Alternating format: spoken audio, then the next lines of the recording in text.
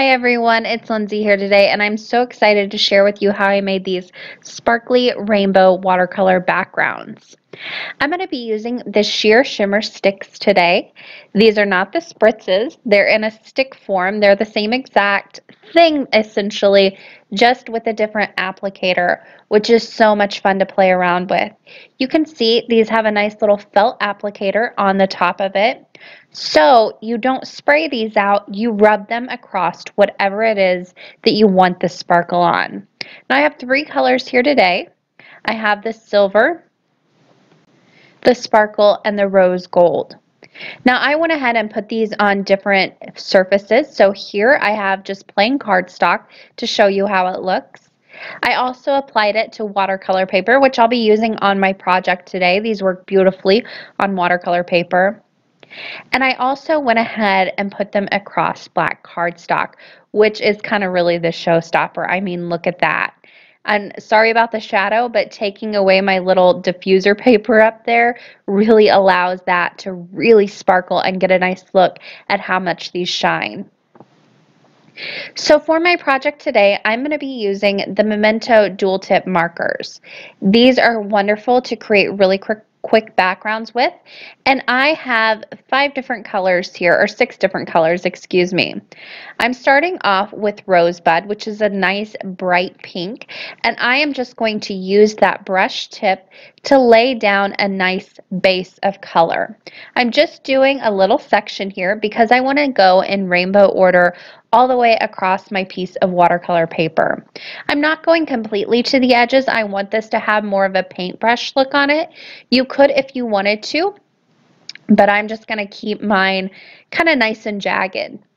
It also helps if you're not going all the way to the edge of the paper to keep it nice and jagged because when you're blending this, it's harder to keep it kind of all symmetrical. So my next color was Tangelo, my orange color, and then I'm going in with Dandelion. Now each time I come in with a different color, I'm not starting right next to the color that I finished with, I'm going into it a little bit. These markers blend beautifully on watercolor paper that I'm using here. Whenever you do kind of blend them on their own, you can go back and forth between the two of them, and that blends them beautifully, but I want an even more watercolor look. I'm working on the smooth side of watercolor paper in this project. You can work on the rougher side if you want. I did do that on another project and it works beautifully as well. I went ahead and used a little bit of Pear Tart, Teal Zeal, and now I'm coming in with my final color, Lilac Posies. Again, starting just inside that blue and dragging out to the edge. Now it's time to blend these all together. I'm using the Sparkle Shimmer Sheer Shimmer Stix. That is a mouthful, sorry. And I'm just going to start with the pink. I'm moving back and forth across the pink, and I'm going in with one layer here. Now, once I get to that orange, I'm going to go ahead and take a dry cloth and turn it up to where the felt tip is facing up because I don't want to lose a lot of the liquid inside there. And I'll just press my cloth right on the top to get out some of that pink color so it doesn't drag all the way through the orange. Then I'll go ahead and come back into the orange and drag it down towards the yellow.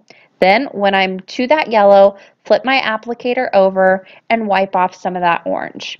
Then I'll come back into the yellow and do the same exact thing, blending between the two colors slightly. When I get to the green, I can go ahead and again flip it over so I'm not losing a bunch of product and just give it a good wipe with a dry cloth. Then come back in and start where I left off with the green and drag that down towards the blue. Now once I get to the blue here, I did want those two to mix a little bit because they are so far apart on the spectrum. One's a lot darker than the other. I did bring the blue up into the green a little bit so it would mix a little bit better. Then you really want to wipe good here between the blues and the purples because that blue really wants to drag into another color. So I gave it a good wipe and did the blue into the purple and then just drug that purple out a little bit to the edges of the paper. Now one layer is great but two is even better because it adds more sparkle and also you've already wet the medium once, the markers that are on the paper once, so they're going to blend a lot more easily now. Now, I didn't even bother wiping too awfully much with this layer. I just kind of drug all the way down across because you've already gotten rid of quite a bit of pigment. Now, once you're finished blending, all you need to do to get the color off the tip of your shimmer stick is to flip it over and just use your towel and dab on the top to get all that color off. If you get any little fuzzies from your towel, you can pick those off as well. I got a few from mine. But once you have it cleared off, you can see what I started with and then once it's cleared off, it goes right back to the clear that it was before, and it's not damaged at all. You might get a little staining on the tip, but that's not a big deal. As long as the color doesn't transfer, you're good to go. Now I went ahead and removed that diffuser again so you can really see how much shimmer I have on that background. This is on the textured side of the cardstock, or the watercolor paper that I'm using.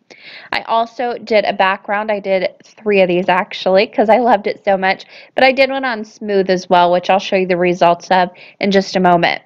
But while that was drying, I decided to go ahead and start on finishing off the rest of the card.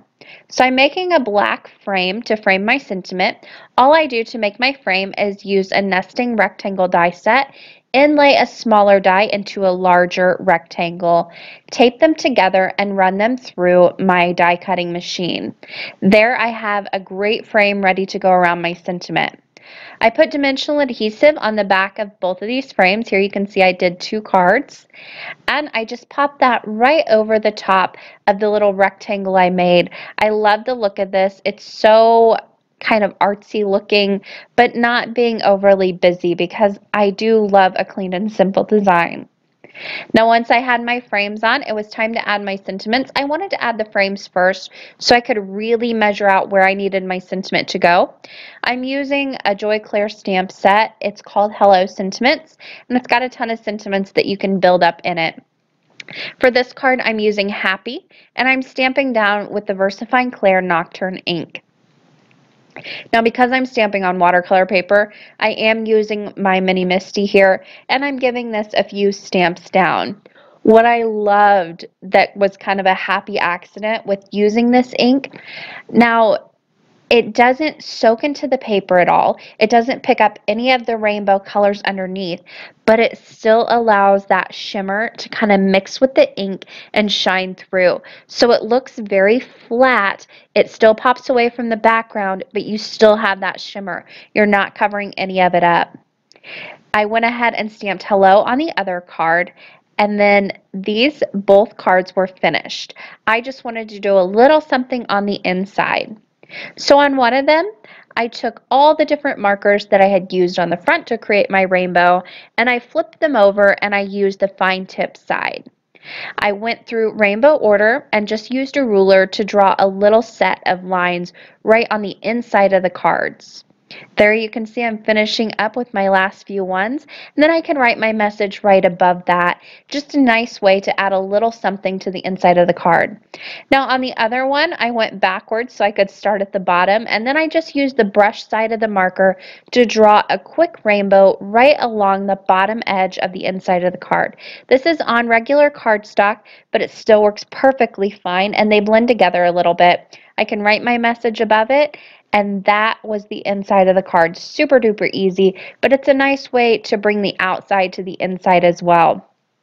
Here is a closer look at both finished cards. This one is on the smooth side of the watercolor paper. Has so much shimmer. It's so, so pretty. My daughter ran away with one of these. That's why I made three. I ended up having to make another one. She ran off with one and she said it was hers. It was so beautiful. But that is going to do it for me today. I hope you all enjoyed this video. Thanks for watching and happy crafting.